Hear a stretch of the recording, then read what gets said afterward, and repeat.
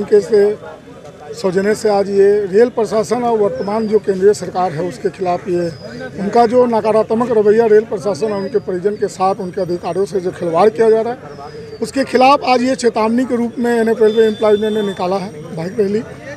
जैसा कि निजीकरण के दौर में आज वर्तमान सरकार रेल को ले जा रही है, इससे ना ना ही केवल रेल प्रशासन, उनके परिजन इनके साथ साथ जो युवा पढ़ी है, देश के जो युवा पढ़ी है, उनका भी जो भविष्य है वो अंधकार में जा रहा है।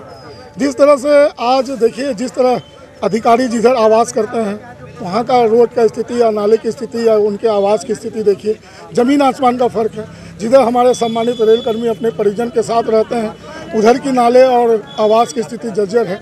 हम लोगों ने कई बार इस मुद्दे को उठाया, परंतु रेल प्रशासन के द्वारा सकारात्मक रूप नहीं दिखाया जा रहा है। जैसा कि हम लोगों ने न्यू पेंशन स्कीम को 2004 से हम लोग का ये लड़ाई चल रहा है कि रेल से हटाना पड़ेगा। वर्तमान सरकार के कान में जू नहीं जुड़ रहा। है आज एन एफ़ आई आर और एन एफ़ रेलवे यूनियन के आह्वान पर आज लार्जेस को रेल में लाया गया। लार्जेस के तहत नौजवान युवक आज रेल प्रशासन को मिल रहे थे।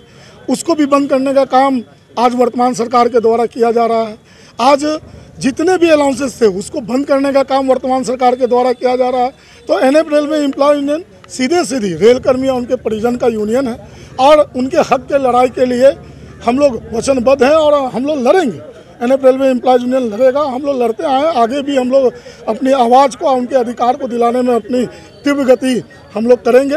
आज आप स्थानीय रेल अस्पताल को देख लीजिए। रेल अस्पताल ही मरीज़ की जैसा प्रतीत होता है तो हमारे सम्मानित रेलकर्मी और उनके परिजन का क्या इलाज होगा, क्या समुचित इलाज होगा, कोई व्यवस्था नहीं है। आज डिजिटल एक्सरे हो या कई प्रकार की जो हमारे जाँच है, वो नहीं है। हमारे डॉक्टर जो भी हैं, डॉक्टर की कमी है।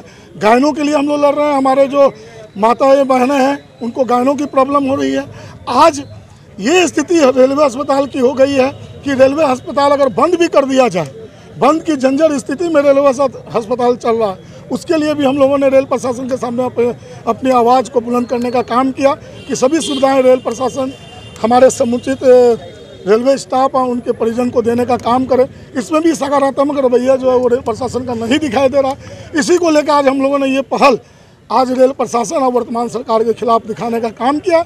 अगर इसके बावजूद भी, अगर वर्तमान सरकार और रेल प्रशासन का सकारात्मक रूप हम लोगों के सामने नहीं आया, इससे भी रूप हम लोग धारण करके और आंदोलन के रूप के लिए विवश होंगे इसका जो ज़िम्मेदारी होगा, वो रेल प्रशासन जो वर्तमान सरकार है, उनके ऊपर होगी